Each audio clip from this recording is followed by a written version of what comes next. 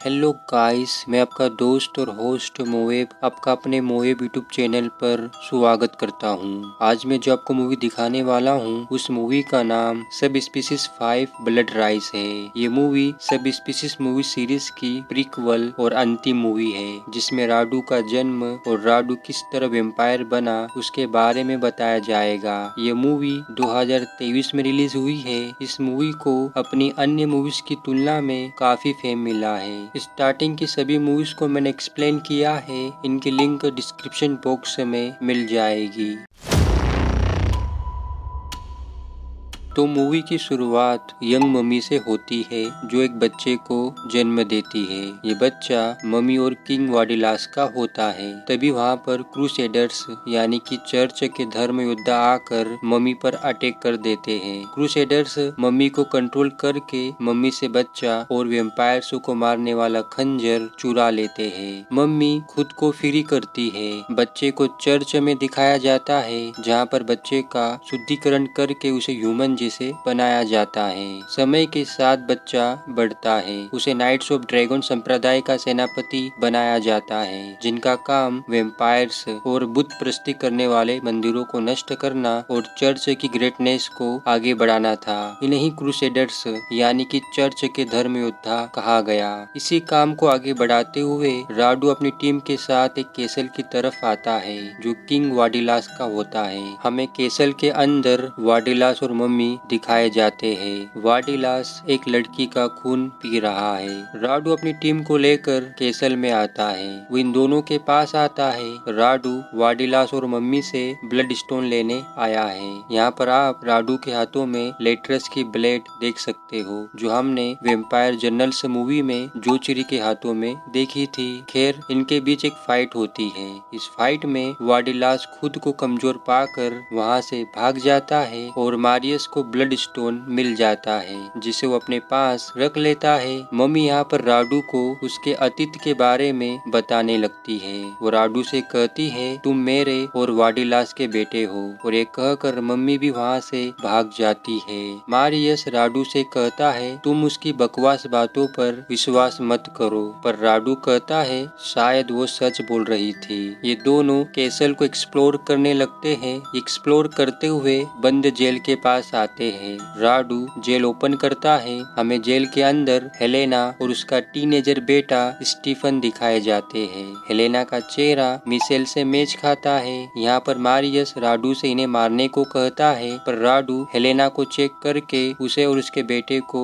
बक्स देता है। क्योंकि उसे लगता है ये दोनों वेम्पायर नहीं, बल्कि इनोसेंट है। यहाँ पर हेलेना अपनी कहानी भी बताती है। वो कहती है, वाडिलास मेरा मेरे पिता के घर से अपहरण करके मुझे यहाँ ले आया और हम दोनों के मिलन से स्टीफन का जन्म हुआ। पर मैं कसम खा के कहती हूँ, मैं और मेरा बेटा, हम दोनों वेम्पायर नहीं है। राडू को हेलेना की बातों पर विश्वास होता है, वो इन दोनों को अपने साथ कर लेता है। राडू और मारियस के घोड़े चोरी हो चुके हैं तो ये चारों पैदल शहर की ओर बढ़ते हैं। रात काफ़ी हो चुकी है तो ये चारों एक जगह पर आराम करने के लिए रुकते हैं। सुबह होती है, राडू और मारियस मारियस के बीच हेलेना और स्टीफन को लेकर बहस हो जाती है। मारियस को अभी भी लगता है हेलेना एक वेम्पायर है, पर राड उसकी बात को मानने से इनकार कर देता है, जिससे नाराज़ होकर मारियस राडू को छोड़कर चला जाता है। स्टीफन वेम्पायर नहीं है, क्योंकि वो सूरज की रोशनी में है और उसे कुछ नहीं हो रहा। राडू हेलेना के पास आता है। वो हेलेना के ऊपर से ब्लैंकेट रिमूव करता है। राडू और हमें पता चलता है कि हेलेना एक वेम्पायर है। यानी कि मारियस सही था। यहाँ पर राडू हेलेना को नहीं मारता है। वो उसे इंसानियत के नाम पर छोड़ देता है, क्योंकि हेलेना में इंसानियत के कुछ गुण अभी भी बाकी थे। अब ये लोग रात में आगे बढ़ते हैं। ऐसे ही एक रात में हेलेना राडू को कन्वेंस कराने लगती है कि वो अभी भी एक ह्यूमन है। वो राडू को सेड्यूस करने की कोशिश करती है और वो इस कोशिश में कामयाब भी हो जाती है।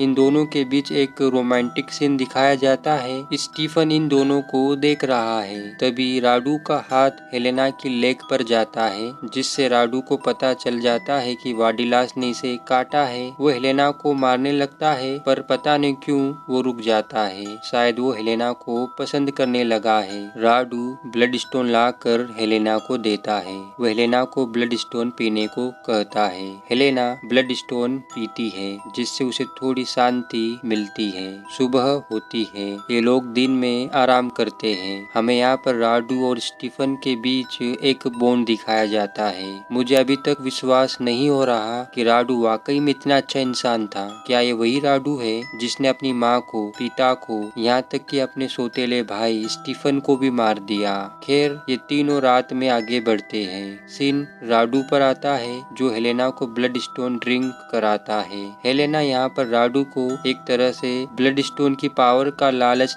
देकर उसे भी ब्लड स्टोन ड्रिंक कराती है। फिर इसके बाद हेलेना अपना असली रूप दिखाती है। वो राडू को अपने जैसे बनाने के लिए उसकी गर्दन को काट लेती है और फिर उसे अपना खून पिलाती है। ये एक तरह की वेम्पायर दीक्षा है जिसे हेलेना ने राडू को दी है ताकि राडू उसे मास्टर यानी कि स्वामी के रूप में स्वीकार करे। पर ये दीक्षा अभी अधूरी है। एक बात याद रखना कि वेम्पायर किसी के भी सगे नहीं होते। तभी वहाँ पर वाडिलास आता है। Vladislas Bloodstone Helena, Stephen और राडू की लेटरस ब्लेड को लेकर राडू से कहता है, तुम बिना अपने मास्टर के जल्द ही राख बन जाओगे। ये कहकर वाडिलास वहाँ से इन सभी को लेकर चला जाता है। राडू अब अकेला रह जाता है। वो मारियस को ढूंढते हुए मारियस के पास आता है। राडू मारियस को अपनी पूरी कहानी बताता है। राडू मारियस को कहता है, तुम मुझे मार दो, नहीं तो मैं मानव जाति के लिए खतरनाक बीमारी साबित हो सकता हूँ। मारियस राडू की बात सुनकर राडू को मारने के लिए तैयार हो जाता है। वो अपनी ब्लेड राडू में घुसा देता है, पर तभी मम्मी आकर उसे मार देती है।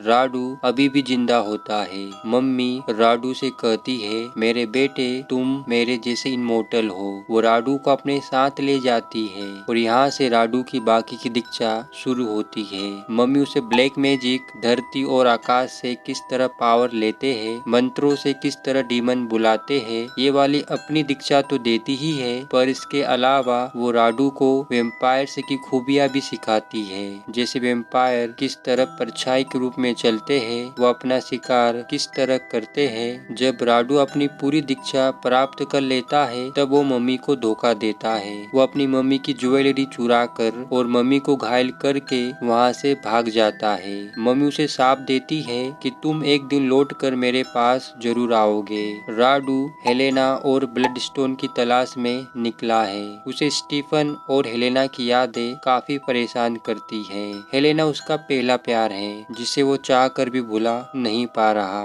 एक दिन राडू यू ही अपने अकेलेपन को याद करते हुए सड़क पर चल रहा था। तभी संगीत की आवाज़ उसके कानों में आती है। ये संगीत एस और एरियल का था, जिससे राडू को थोड़ी शांति नसीब होती है और यहीं पर राडू यश और एरियल को अपना स्टूडेंट बनाने का डिसीज़न लेता है ताकि वो उनके संगीत से शांति प्राप्त कर सके। राडू यश और एरियल के रूम की ओर आता है। उन दोनों को रूम से बाहर लाता है। यश और एरियल भाई बहन है। राडू पहले यश पर अटैक करता है और उसका खून पीता है और फिर राडू एरियल पर अटैक करता है। वो इन दोनों से पूछता है, जीवन या फिर मृत्यु?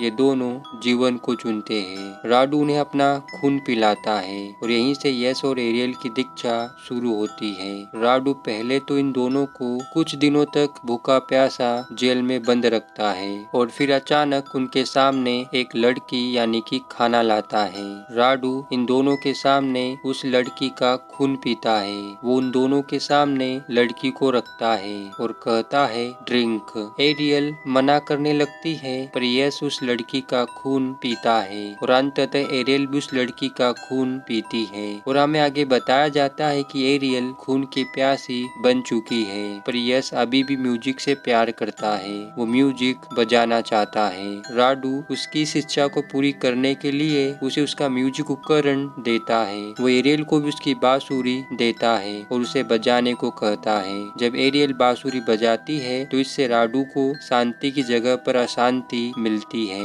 यहाँ पर पर एरियल राडू से कहती है, संगीत आत्मा से उत्पन्न होता है, पर मेरी आत्मा मर चुकी है, और ऐसा ही कुछ हाल यश का होता है। वो भी राडू को म्यूज़िक नहीं सुना पाता, समय गुजरता जाता है, यश और एरियल की दीक्षा पूरी हो जाती है, हमें डियाना दिखाई जाती है, जो केसल में आती है, ये केसल वही है, जहाँ पर राडू और उसके स्टूडेंट रहते हैं। डियाना चर्च की तरफ़ से आई है, उसका काम वेम्पायरसों को मारना है। उसके पास मम्मी का खंजर भी है, जिससे वो राडू की कैदी को मारती है। तभी वहाँ पर राडू, एरियल और यश आते हैं। राडू डियाना पर अटैक कर देता है। वो उसका खून पीता है। यश और एरियल भी डियाना का खून पीते हैं। यहाँ पर राडू डियाना को भी अपनी स्टूडेंट बनाता है। यश मम्मी का खंजर और डियाना की तीर कमान ले लेता है। यश और एरियल राडू को धोखा देते हैं। एरियल राडू से कहती है। अब हमें आपकी कोई ज़रूरत नहीं है। मास्टर, आज से हम हमारी किस्मत खुद बनाएँगे और एक कह कर दोनों वहाँ से चले जाते हैं। राडू डियाना को केसल में अकेला छोड़ देता है। 300 साल बीत चुके हैं। राडू को यश और एरियल को ढूंढते हुए और आखिरकार राडू को यश और एरियल मिल जाते हैं। वो उन दोनों से मम्मी का खंजर माँगता है। एरियल उससे कहती है, वो खंजर हमारी क्यून के पास है।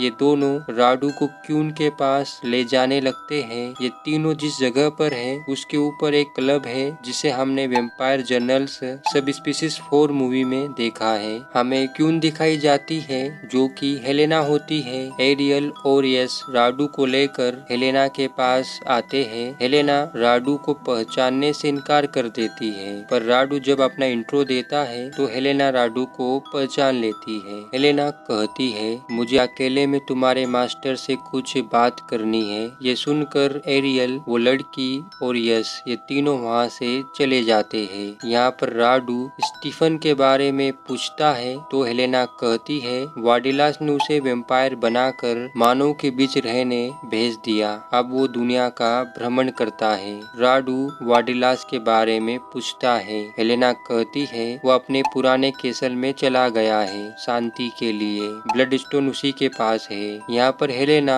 यश और एरियल को लेकर राडू से एक डील करना चाहती है। वो यश और एरियल को लेकर आती है, क्योंकि हेलेना यश को पसंद करती है तो उसे अपने पास रखना चाहती है, और जबकि एरियल राडू के पास रहकर उसकी सेवा करेगी। ये बात राडू को पसंद नहीं आती, क्योंकि राडू हेलेना को पसंद करता है, वो खुद हेलेना के साथ रहना चाहता है। जब ये बात हेलेना सुनती है तो हेलेना राडू को ह्यूमिलेट करने लगती है। उसके फेस के बारे में, उसके स्पर्श के बारे में, उसकी आवाज़ के बारे में और उसके वंश के बारे में भला बुरा कहने लगती है। राडू ये सब सुनकर गुस्से में आ जाता है। वो हेलेना की गर्दन को बुरे तरीके से मोड़ देता है। यहाँ पर हेलेना राडू को साप देती है कि मैं दोबारा जन्म लेकर तुम्हें अनंत काल तक सताऊँगी। यश वहाँ से भाग जाता है। हेलेना खंजर से एक आखिरी वार करती है, जिससे राडू घायल हो जाता है।